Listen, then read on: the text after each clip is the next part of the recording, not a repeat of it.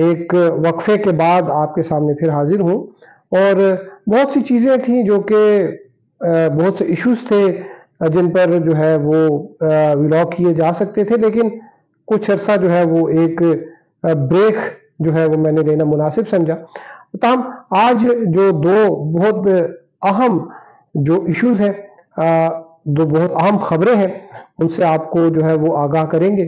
और उसमें एक खबर वो तो ये है कि एक हासिल सर्विस ब्रिगेडियर जो है, उनको जो मिलिट्री अथॉरिटीज़ हैं, उन्होंने अपनी तहवीर में लिया है, क्यों लिया है, और उसकी क्या वजूहत है, उसके बारे में आपको बताएँगे। और एक गुज्त रोज़ यहाँ पर एक जो है, वो झड़प हुई थी कुछ मकामी अफराद में और पुलिस के एहलकारों में। उसकी वजह ये थी कि जो जीएचक्यू की ज़मीन जो है उसको बागजार कराया जा रहा था और मकामी अफराद ने जो है उस पर मजामत की।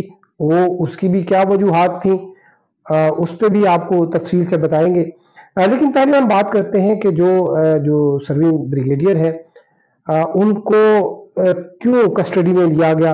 ये जो ब्रिगेडियर साहब हैं अख्तर सुबहान साहब ये कोयटा में ये पोस्टेड थे और वहाँ पर जो है इनको ये डिफेंस हाउसिंग अथॉरिटी कोयटा उसमें बतौर डायरेक्टर अपनी खिदमात सर अंजाम दे रहे थे। और उसमें जो अचानक 26 जून को इनको जो मिलिट्री पुलिस है, उसमें एक स्पेशल इन्वेस्टिगेशन ब्रांच ने इनको अपनी तहवील में लिया। और शुरू में इनके घर वालों का यह ख्याल था कि शायद इनको छोड़ दिया जाएगा, लेकिन ऐसा नहीं हो सका।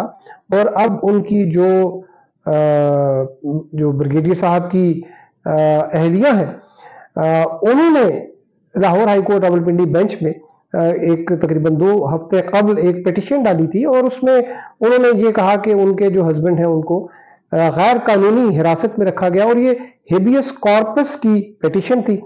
और इस पिटिशन की जो समाप्त की वो लाहौर हाईकोर्ट के जस्टिस जवाद हसन ने इसकी समात की थी और जब इब्तदाई इसके दलाइल दिए गए तो उसके बाद उन्होंने नोटिस किए और एक शॉर्ट डेट के लिए इसको एडजन किया। इस केस की समात जो है, वो पंद्रह सितंबर को होनी थी, लेकिन जब पंद्रह सितंबर को पता चला कि जो तहरीरी हुक्म जो है, वो आया, उसमें 6 अक्टूबर की तारीख डाली गई।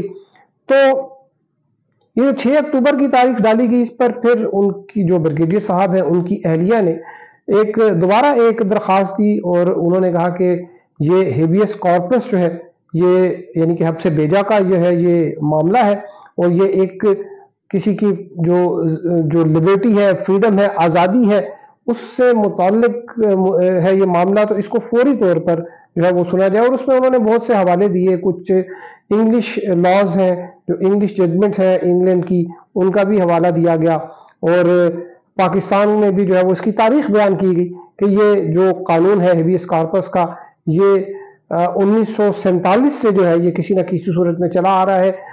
ये शुरू में उन्नीस में जब इसको एक बाकायदा एक कानून की शक्ल दी गई तो ये इसको जबता फौजदारी के अंदर जो है वो रखा गया। बाद जो हमारे दो आइन थे उन्नीस सौ छप्पन का और उन्नीस सौ बासठ का, उसका भी ये हिस्सा था। और अभी जो मौजूदा हमारा आइन है उन्नीस सौ तिहत्तर का उसका भी ये एक जुज है।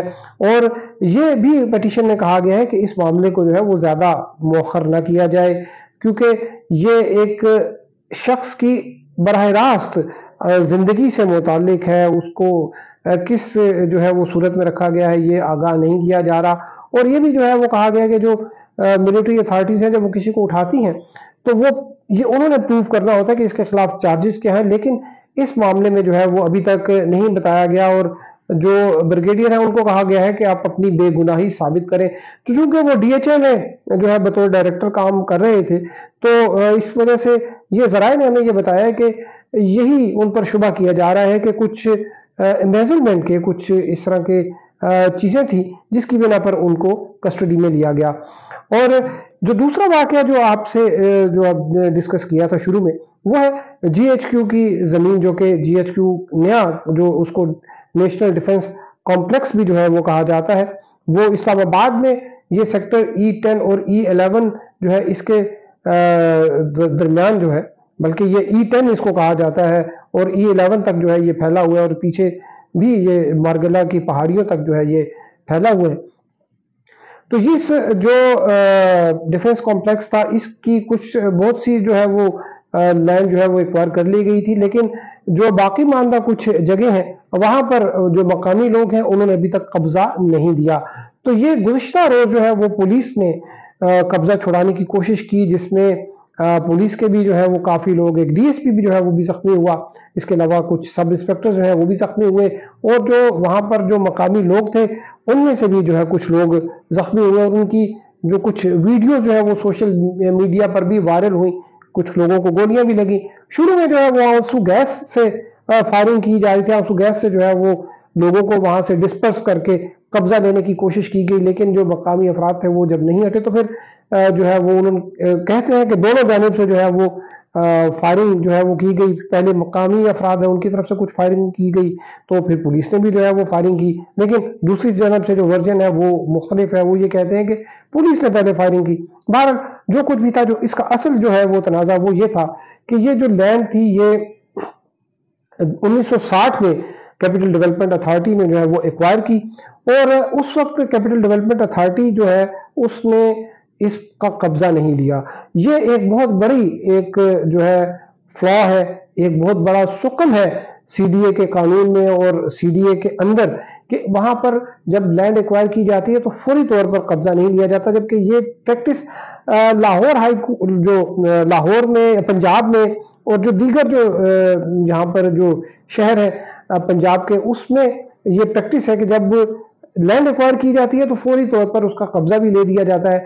अब इसमें यह हुआ कि जब लैंड एक्वायर की गई, वहाँ पर उस वक्त कोई इक्का दुक्का घर थे, लेकिन अब वहाँ पर पाँच हज़ार से जायद घर जो है, वो वहाँ पर बन चुके हैं। अब उसकी बिल्ड प्रॉपर्टी का अगर आप देखें तो वो बहुत ज़्यादा उसकी कॉस्ट बन जाती है।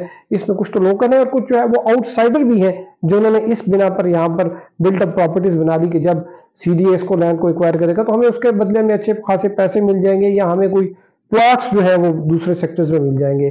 तो ये एक बहुत बड़ा सुकम है। सीडीए के जो इदारा है उसमें कि यहाँ पर जो है वो लैंड जो ज़मीन को जब उसको एक्वायर किया जाता है, उसको लिया जाता है कागजात में, अपने नाम मुंतकिल की जाती है तो साथ में उसकी, उसका कब्जा नहीं लिया जाता। तो ये इस इशू की वजह से गुज्त रोज जो है वो काफ़ी यहाँ पर जो है वो मुजाहरे भी हुए। मुख्तलिफ़ जो इस शहर की सड़कें थी वो ट्रैफ़िक जाम रही, लेकिन ये मेन स्ट्रीम मीडिया पर ज़्यादा इसको नहीं दिया गया। और इसकी वजह जो है वो आपको भी बखूबी अंदाज़ा होगा कि वो क्यों नहीं इसको मेन स्ट्रीम मीडिया में भी जो है वो जगह दी जा सकी। बाहर, इसी किस्म के बहुत से मौजूद हैं जिनको मेन स्ट्रीम मीडिया पर जो है वो जगह नहीं मिलती, लेकिन हम आपके लिए जो है वो उसको पेश करते रहेंगे। अब तक के लिए इतना ही। हमारे साथ रहने का शुक्रिया। अल्लाह हाफिज़।